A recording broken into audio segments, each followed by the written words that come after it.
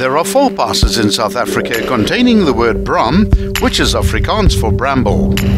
As far as technical driving goes, Braamnek has become something of a mile pass, as once the new road was built over the neck, most of the bends and steep gradients were removed when the old road was realigned and rebuilt. It has just four very gentle bends, and the pass holds no apparent dangers from a design point of view. However, this is the Eastern Cape, an area notorious for having free roaming livestock on the road. The behavior of the local drivers is also a concern, as driver behavior can best be described as erratic. Unless you earmark this pass with GPS coordinates, you might easily drive straight over it without realizing you've just driven an official pass.